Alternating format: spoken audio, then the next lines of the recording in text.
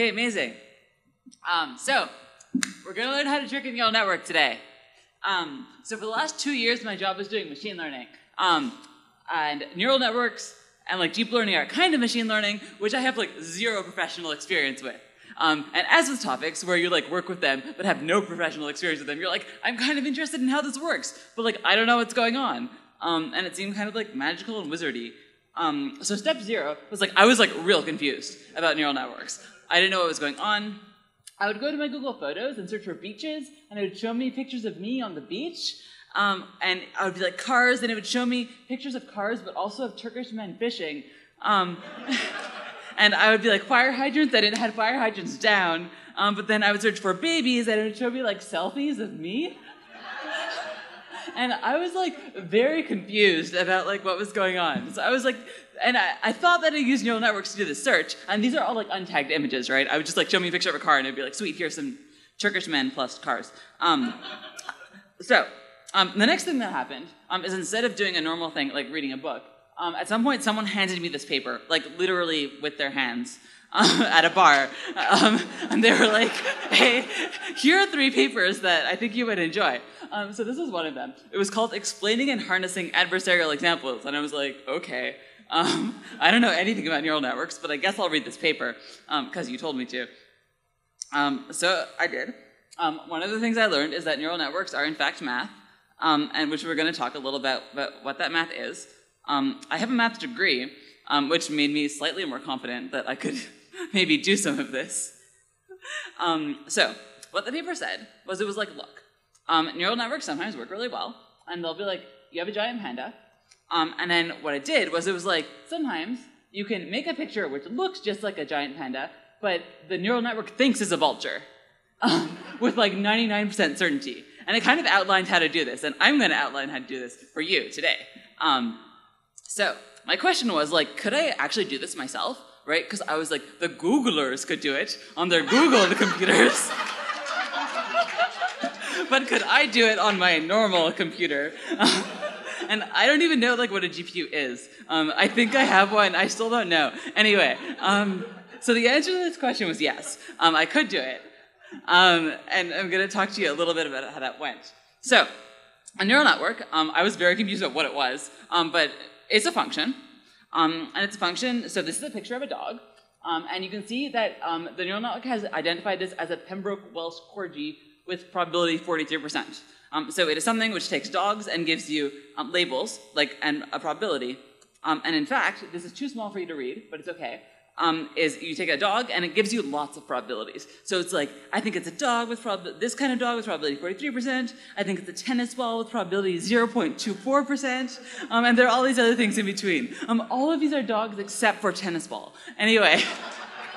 but like the probability that it's a dog is like quite quite high, right? Um, so I was actually very impressed with this. Um, the first, the top one is apparently wrong because that kind of dog apparently has pointy ears. Uh, anyway, I don't know. The computer's better at um, recognizing images than me. Um, and the input, of course, is not actually. I mean, an image is not really a thing, right? Um, but it's like an array of like RGB values. Um, so you put in some numbers, and then it out comes like dog slash very unlikely tennis ball. Um, so um, the next thing I did was actually, so the, step like 1.5 was someone was like, hey, do you want to write an article about a thing? And I was like, yeah, I'm going to write an article about this. Um, even though I didn't know if I could do it yet. But I was like, I'll do it. Um, so I, then I spent like a bunch of hours setting up some neural network software on my computer, this one, and being like kind of confused about what to do. Um, there were many, there was many confusions here. Um, and then the next thing I needed to do was I needed a neural network.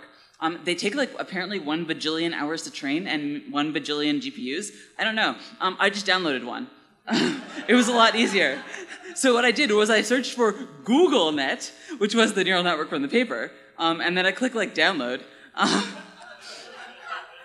it was 50 megabytes. Um, that was really easy. It took like 25 seconds. I have a fast internet connection. This was the bomb, right?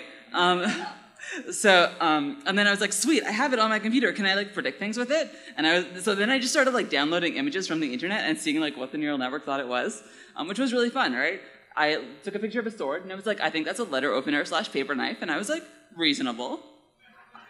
like I buy it, right? And it was like, I was like, here's a cat. And it's like, that's an Egyptian cat, and I was like, maybe, I don't know, right? Like um, and then I showed it a trash can, and it was like, "That's a trash can." And I was like, "You're good." Um, and then I showed a, a picture of the queen,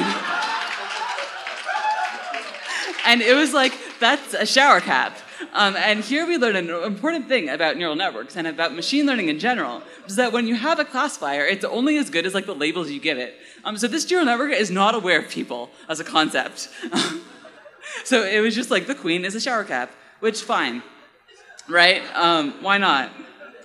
Um, cool. So now we were like prepared. We can make predictions. We have the neural network. I sent up the so- software. I used like Docker. Um, I was like, I'm a wizard. Um, uh, and then, but I also needed to go through this step intermediate where I was like really confused about neural networks and like what it is, right? And I kind of read the paper and I was like, this made sense when I read it, but now I'm actually when I'm actually trying to implement it, I have like a significantly higher degree of confusion. Um, so we need to talk about some math for a second and like what I was confused about. Um, so, um,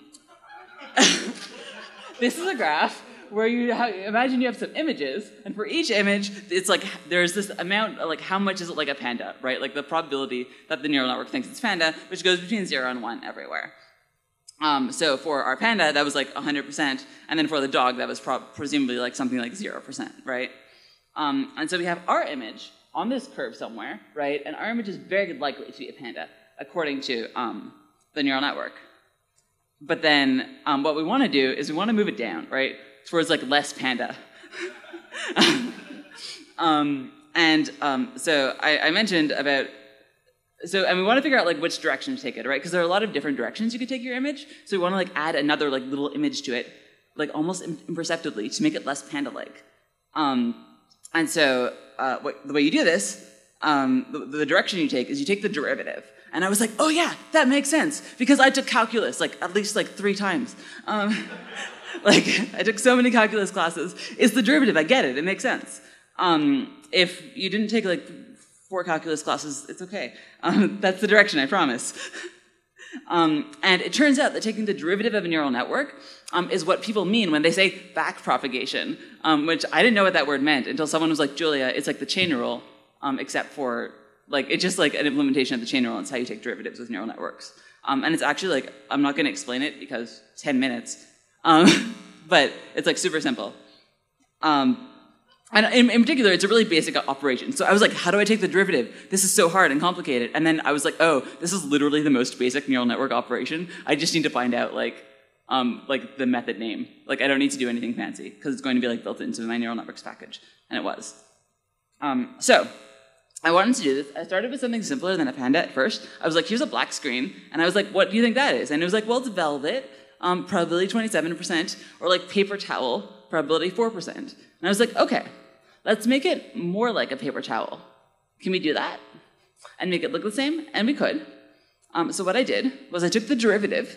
So I was like, how much is like a paper towel? And then let's take the derivative so we can make it more like a paper towel. Um, that was what the derivative look, looks like. I don't know what that means at all. Um, there are many unanswered questions in this talk. Um, And then what I did was I took like that kind of, kind of like that direction and I moved it in that direction. Um, and you can see the probability for paper towel used to be 4% and now it's 14%. And 14% is pretty good, um, but it's not like 100%, which is what I wanted.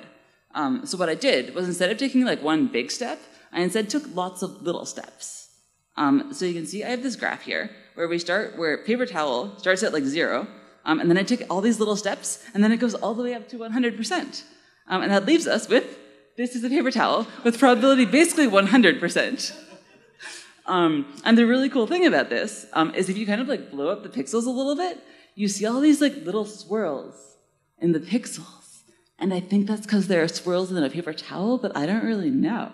That's like kind of interesting, right? Um, I think like a neural networks expert would be able to explain exactly what's going on, but that's not me, so there's no problem. um, okay, so then we did a little bit more. Um, I think, yeah, we did a little bit more. And then I did a, a panda to a vulture. Um, from a panda to a vulture, I guess that was more different. Um, so 10 steps was not enough, so I did 100 steps. 100 little tiny steps. And it took like a long time on my computer. It took maybe like eight minutes or 10 minutes. Because um, I don't know, I don't have a GPU or like a Google. Um, but, but it only took 10 minutes, it was fine. Um, so I started out with 0% panda, um, and then the panda curve goes all the way up to 1. uh, or no, sorry, the panda curve goes from one to zero, and the vulture curve goes from zero to one. But then there are these other weird things in the middle where it's like gibbon, or it's like ring-tailed lemur. Um, it also goes through ostrich. Um, and, actually, like the really fascinating thing about this was I went to a conference about machine learning, and I asked someone who like works at Google and is a like machine learning expert about this, and I was like, yeah, so like I went from panda to vulture, and I went through all these like other things, and he's like, yeah, yeah, you know, like the panda ostrich space. I'm like, what do you mean the panda ostrich space? And I, I just like found it really fascinating that like people who do machine learning professionally are like so familiar with like this data set and this like these like networks and how the images like and like what the neural network thinks that they mean that they know that pandas and ostriches are like considered similar. And like maybe that's an obvious fact to them but like certainly not to me. Anyway um, there are like many research questions at least for me here. Um, so like we totally got our result. And we were like oh now it's a vulture um, and I felt better, um, even though I've still never trained a neural network. um, so there's like some more stuff you could do, right? You could go read this paper. It's like six pages. It's quite readable. Um, and very, very interesting. You could like play with your neural network. I have like all this code on, in like Docker, and you can download it and run it. Um, there are like actual books that you can read if you're like a more normal person, unlike me, uh, and like want to learn in a more normal order. Um, yeah, and the other thing that I, I, made me happy about this is uh, the people who gave this to me uh, were part of the run the papers we love meetup in Montreal, um, and they kind of like really taught me that like I still don't read papers almost ever. Like I never read papers before. Um, and then actually Maggie, who's in the audience here, at some point gave me a paper. She was like, Julia, this paper is great, and I read it, and I was like, I love this paper. And then they emailed me and they were like, Do you want to give a talk about a paper you love? I'm like, There's literally only one paper I've read in the last two years. And Maggie gave it to me last week.